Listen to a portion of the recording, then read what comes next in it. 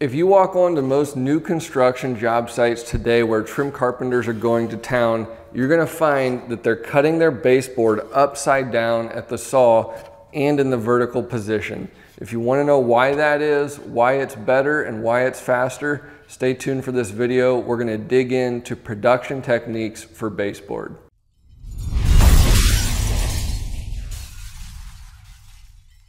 Now, as we get set up to run production baseboard, we need to decide, are we gonna cut our base vertically or are we gonna cut it on the flat? Are we gonna cut it on the flat like this or are we gonna flip it up and cut it vertically? To cut it vertic vertically, you're gonna need a couple things. One is the capacity to do so. I just did a video on why I love the DeWalt DWS 780 miter saw, which is a 12 inch slider. One of those reasons is I have enough, enough height capacity to cut baseboard in the vertical position. One of the key advantages to cutting baseboard vertically is that you get a longer frame of reference if you set up your miter saw station correctly. With these miter saw wings, whenever I set them up, I take my level and I put it on the base of my saw and I ensure that my miter saw wings are running in plane with the base of my miter saw.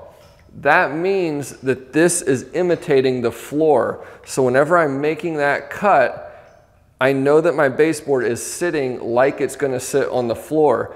And wood is not straight. So if it's got a big cup in it or a dip, I'm gonna get a more accurate cut because my reference line is bigger, it's longer. The disadvantage to cutting on the flat is what happens to my frame of reference. Now my reference is only the length of both sides of the fence on my saw. So I can have an eight foot length of reference to, to get my cut or cutting on the flat, I only have about a 12 inch frame of reference. So if the piece of baseboard has a big crown or dip in it, what's gonna happen if you try and make your cut and you're only registering 12 inches, there's a good chance that that cut is gonna end up being a couple degrees off, not gonna be 100% accurate. Doesn't mean that this can't be done. I cut baseboard on the flat with the Festool Kapexes for years. It works just fine, but this is one of the advantages of cutting vertically.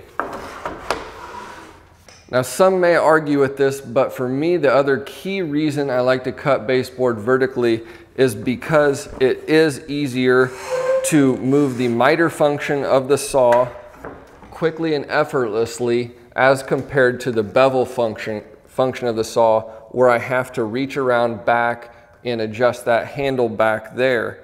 As we're cutting our baseboard, we're gonna be putting a lot of 45 degree cuts on our base for the cope, and then you need to quickly be able to switch back to zero, or many of you have told me you like to go uh, a few negative a few degrees so that your cut is actually at an angle whenever you make the straight cut on your base. And that's just a lot easier to do up here with these controls on the front of the saw versus using the bevel.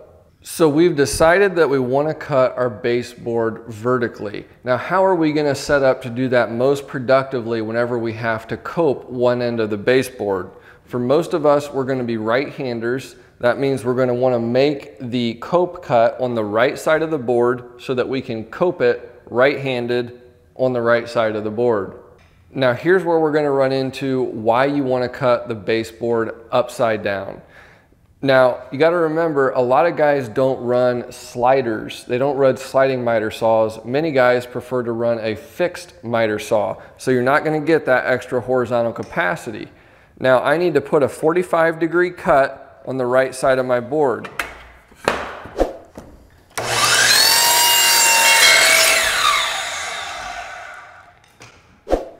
I just made that cut with the baseboard in the normal position as it will be nailed onto the wall with the profile on top. Now, only about the, the top three quarters of an inch has profile on this baseboard. I've got this big old piece right here that's perfectly straight. Why would I want to put forth effort cutting that with a handheld coping saw whenever I've got a miter saw right here? Now the problem is, if I've got a fixed saw, I can't cut that straight cut as it sits right now. I'd have to flip the board around in order to cut down across that straight line. So here's the advantage to cutting your baseboard upside down. If you cut the baseboard with the profile on the bottom, you make your 45 degree cut for your cope.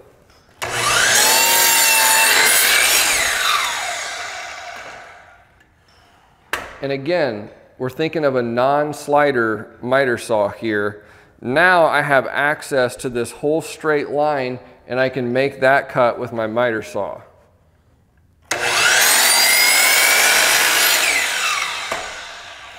So that piece will then break away and I've only got the very top here to cope by hand.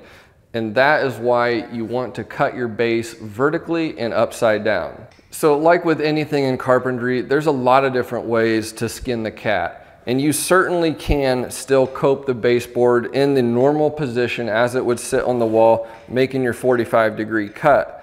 If you have the sliding miter saw capacity and I wanted to make that straight cut, I can cut my 45, I can bring the saw back to zero and then just set it down right here and use the sliding function of the miter saw to make that cut.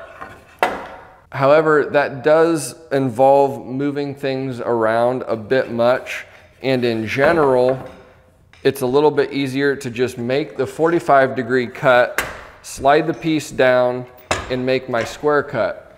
Also, for those of you guys who do like to put like a five degree back cut on this, so you're sure that it's sitting nice and tight, uh, it's a lot easier to do that in the vertical position again than trying to put it on the flat and mess around with the bevel function, tilting the saw like that. For me personally, just being completely real and honest, I'm installing paint grade trim and I've never felt the need to put a five degree back cut on this straight portion of the baseboard profile. Feel like I'm getting things plenty tight just cutting that at zero degrees and it works just fine for me.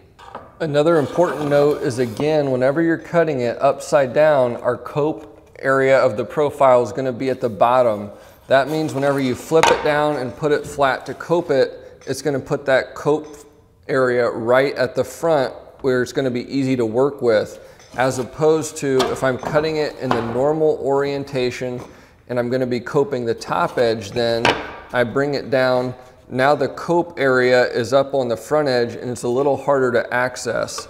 So that's another reason for cutting it upside down is because whenever you bring it down flat, that cope area is gonna be on the front edge where it's easy to access. Now, I know I started the video off by saying that we will get more accurate cuts by using the base of the miter saw and the length of our wings as our frame of reference whenever we're cutting vertically because that's gonna better represent how the piece is gonna sit on the floor because we're stretching it out over a much larger area. Don't take that to mean that you can't cut pieces flat and use your miter saw fences as your frame of reference. Many times as I'm cutting, I'm flipping back and forth, especially on my straight cuts. Sometimes it's just easier to let it lay flat and make my cut that way with the slider versus holding it vertically that's fine. It's still gonna be fine. I'm just making a point that as a general rule, whenever you have an eight foot frame of reference, it's gonna be more accurate than a 12 inch frame of reference when you're dealing with imperfect material that has uh, crowns and whatnot in it and it's not straight. Now one note, because I get asked this in almost every video where I show my miter saw, I do have auxiliary fences on the miter saw. In order to cut a lot of baseboard in the vertical position, you're going to need to have taller auxiliary fences on your miter saw. So these can be purchased and this is just an, a piece of aluminum, nice and tall, nice and thin, doesn't have a big buildup, and they come pre-drilled for your miter saw, and you can just mount it right on your existing wings, and they're really easy to take on and off. I always try and put links to the products that I'm using in the video notes so that you can find these products. A lot of the links I put in those notes are affiliate links and purchasing through those helps support the channel. In this case, these fences are not affiliate links. It's just a company I appreciate that makes a great product. um, for your miter saw. So if you want to purchase these, you can find the link there. So then one more piece of confusing information. Since we're going to be going clockwise around our room and taking measurements, my, I'm taking my measurement and I'm noting which side of the board is gonna have my straight cut and which side is gonna have my cope. So as I go around clockwise, my cope, my C on my cut list is gonna be on the left side of my number. If you're cutting your, your material upside down, everything switches and becomes opposite. So on my cut list, if I turn my baseboard upside down, whenever I'm making my cut, if I have a C on the left side of the number, that's actually on the right side of my board as I cut it upside down on the miter saw. So just remember whenever you're cutting, it's very simple, just everything is opposite. If it's upside down, it's opposite. So if I've got noted outside miter on the right side of my board on my cut list, whenever I'm cutting it upside down, that's actually gonna be on the left, left side. Hope that wasn't too confusing, but once you do it, you'll get it. It's actually really simple.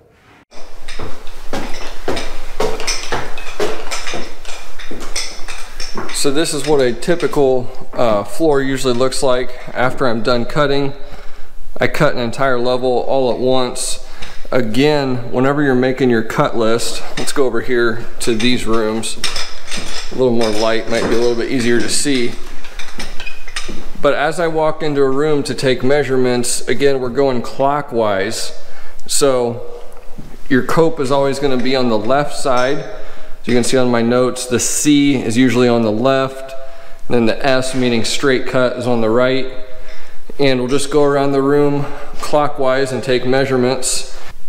So taking measurements clockwise is important because we always want to have that straight end butting into the wall and then the coped end on the left sliding that into place. And since we're cutting upside down on the miter saw, coping on the right hand side, that means the coped end is going to be on the left side.